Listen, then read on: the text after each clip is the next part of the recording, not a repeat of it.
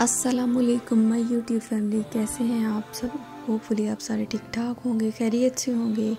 अल्लाह पाक आप सबको खैरियत से रखें, खुश रखें, आबाद रखें। जैसा कि आप देख रहे हैं, आज हम क्या बनाने वाले हैं? आज हम बनाने वाले हैं chicken steam roast with vegetable. तो चलें आए, चलते हैं अपनी रेसिपी की तरफ़।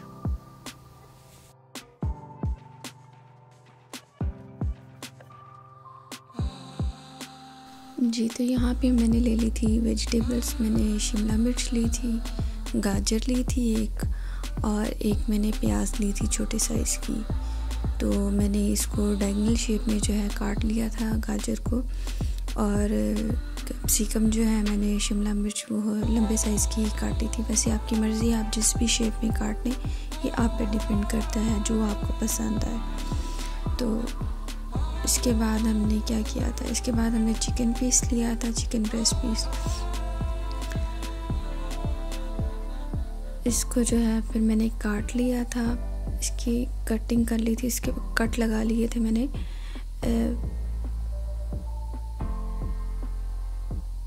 पहले मैंने इस शेप में कट लगाए।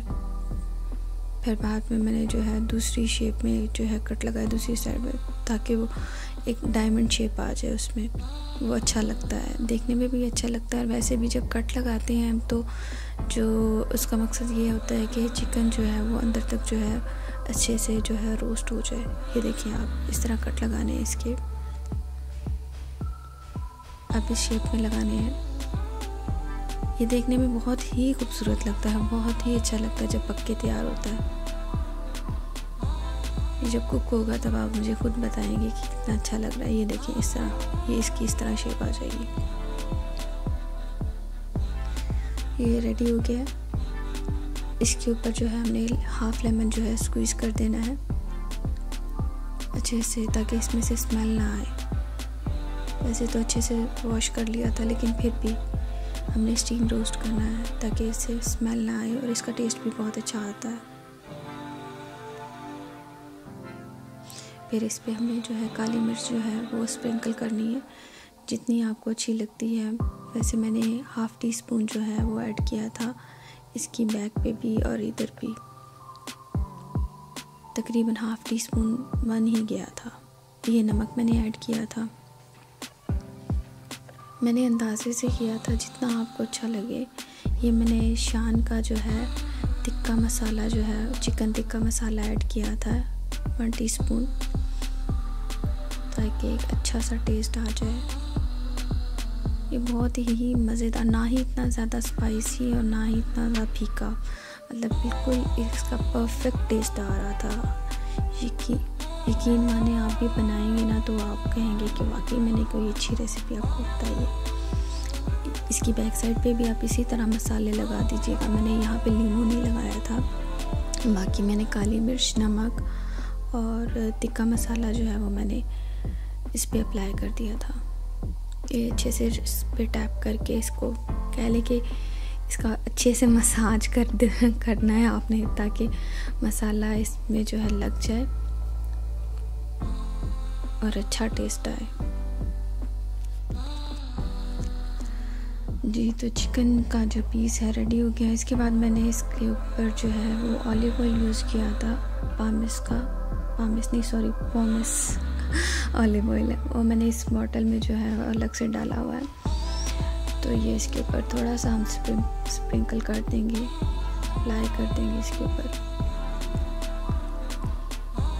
और इसको मैंने तकरीबन 10 मिनट के लिए रख दिया था मैरिनेट करके। इसके बाद जो है मैंने जो वेजिटेबल्स थी, इसके ऊपर भी जो मैंने है काली मिर्च और नमक। जो है वो इसके ऊपर जो है स्प्रिंकल कर दिया था ताकि इनका टेस्ट भी अच्छा लगे। ना मैंने इन पे ऑयल लगाया था, ना ही मैंने इनके ऊपर लीमू लगाया था। बस काली मिर्च और नमक और कुछ भी नहीं लगाया था सब्जियों के ऊपर। ये मैंने एक डेगची रख ली और उसमें मैंने स्टीमर रख दिया था पानी डाल के ताकि पानी में बॉयल आ जाए और फिर इसके ऊपर हम रखते हैं चिकन का पीस जी बॉईल हल्का हल्का आने लग गया है तो फिर हमने इसके ऊपर जो है चिकन पीस जो हमने रेडी किया था, दस मिनट हो गए हैं। दस मिनट के बाद मैंने इसके ऊपर रख दिया है और वो वेजिटेबल्स जो मैंने कटिंग करके रखी थी, वो मैं थोड़ी थोड़ी करके इसके ऊपर साइड पे जो है वो रख दूँगी। ये गाजर, ये शिमला मिर्च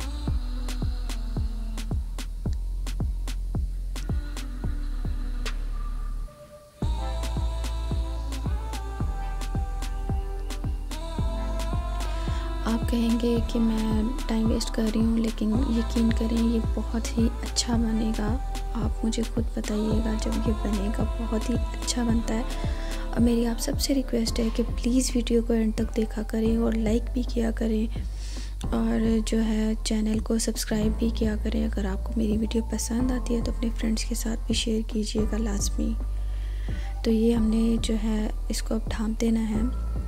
इसको ढाँप के तो हम तकरीबन इसको 10-15 मिनट तक पकाएँगे। इसके ऊपर कोई भी ऐसी चीज़ रख दें जो हैवी हो जिससे स्टीम बाहर ना आ सके। वो आपके पर अपनी मर्ज़ी है जो मर्ज़ी रखते हैं ये हमारा जो दे, देखिए चिकन जो है रेडी हो गया फुली टेंडर्ड है इस वक्त। और ये बहुत ही मज़ेदार लग रहा है बहुत ही मज़ेदार इसकी शक्ल बाहर आई है बन कुक हो के।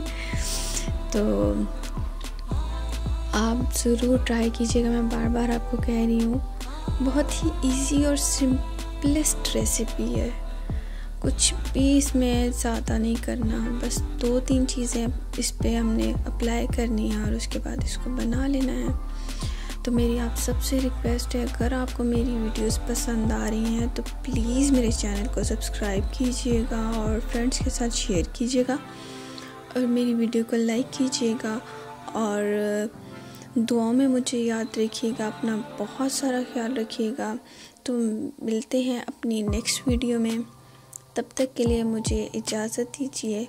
अल्लाह हाफिज़।